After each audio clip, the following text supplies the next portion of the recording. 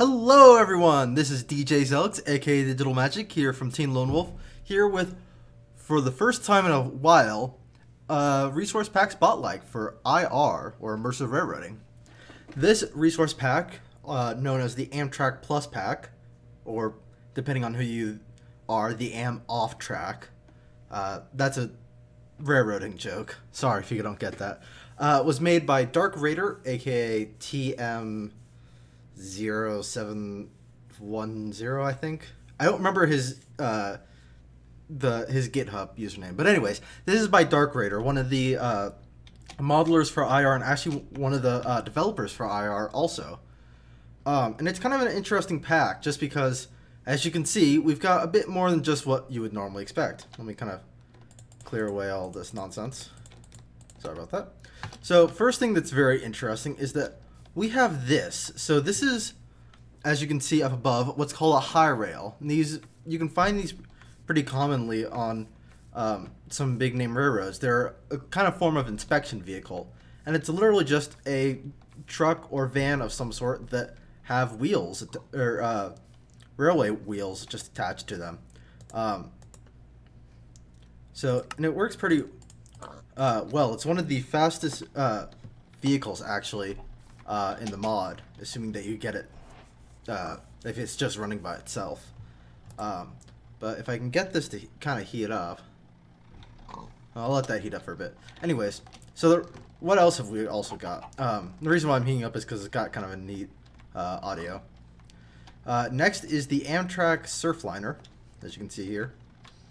Um, overall, I think this is kind of one of the nicer models. Uh, something you'll notice is that all of the models from this resource pack have incredibly detailed bogies. That's a kind of a key feature of Dark Raider, actually. He helped me uh, remodel one of my models, actually, um, and completely and totally redid all the uh, bogies. But as you can see, he's got a very nicely done interior. Whoops, here. Um, got full-on control panel, very similar to what you would actually see in the Surfliner, if I remember correctly. Um, very nicely made locomotive, and you can kind of poke in here and see. I, I, can't even see what in the world there is in there, but something's in there. I assure you. Um, we've got the Surfliner livery, so let me kind of pop in. As you can see, it's kind of nice and spacious. Um, note that this is the second level of the uh, train car. If you look down here, there's a first level.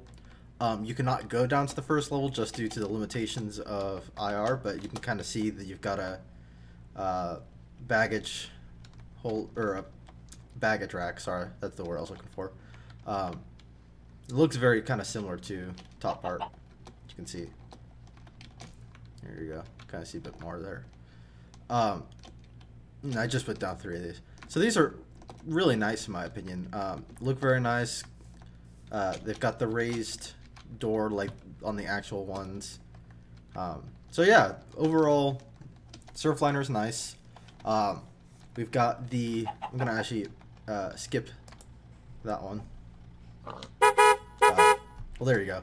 So that's what the the horn sounds like for it, which I think is kind of funny that he took an actual uh, car horn and used it. So here is the Amtrak California. It's got a very nice uh, logo on the side of this. Um, again, very nicely done cab. I think this is actually just the same control panel copied over from the other one. I think they're just kind of slightly... No, the fronts are slightly different. Uh, actually, I'm fairly certain the fronts are slightly different. I'm 80% certain that the fronts are slightly different. Anyways, uh, we also have uh, the uh, California livery, which, as a, again, looks very similar. It's just a, it's just a recolor, actually, I believe, um, of the uh, Surfliner. So, and again, look very nice, very on point, if I do say so myself. Um, and then, last but not least, the fourth locomotive is the Amtrak Cascades locomotive. Um, again, same control panel. I'm fairly certain that the, this one's yeah, no, I'm 80% certain now that these are actually just uh, reskins of each other. But even then, they still look really nice. Um, they're very nicely done reskins. Uh, and these, um, I, the Cascades doesn't have a specific uh, set of train cars for it in the mod, so I just added in the rest of the coaches that come with the mod. So the Surfliner, Surfliner coaches. Huh, interesting. Um, that might be an issue on my. Well, no, I don't know. I'm not sure why he's got Surfliner coach and the Surfliner livery for the Surfliner coach. Um, so that's kind of interesting. Anyways, again, two floors. Um, I'm pretty sure that this is just their reskins of each other. Um, and this is where we sort of kind of get into some interesting stuff. Oops. This is the Surfliner Diner. Uh, and as you can see, it's got some tablecloths. They're kind of low poly, but I mean, it's what you get, I guess, when you get a Minecraft mod. And even then, they're still really nicely done. I mean, that's exactly how you I would expect them to look. Um, nice little compartment here, stairs down. Um, I think you can kind of vaguely see into the kitchen, which would be on the floor below it typically. Um, and then lastly, we have the lounge car. Oops, keep doing that.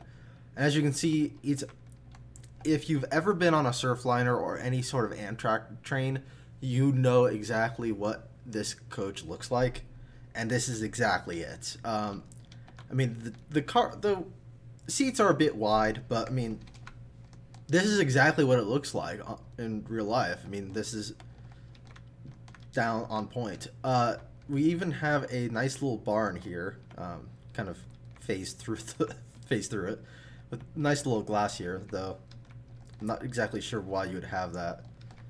Um, I don't think the actual one has glass, because I'm I I've been on one of these uh, train cars, and I'm pretty certain that there wasn't any glass on the actual little countertop excuse me. Um, and then the back side of it is uh, these nice little seats, like you see. They're kind of like a. Uh, it is is as if you took the diner cars and you took the curtain off, or not the curtain, the uh, tablecloth off. But either way, it looks very nice. Um, so yeah, it's uh, very nicely made uh, consist, or not consist. I'm sorry, I can't speak the right words today um, car. And you've got the same down in the bottom. You've actually got another nice little, sadly you can't get in there to look at it, but you've got a nice little countertop in there. Um, so yeah, and as you can see, it looks very nice from the outside. All of these look very nice from the outside. It's a very nicely done uh, set of trains, or well, consists, whatever you want to call them in this case.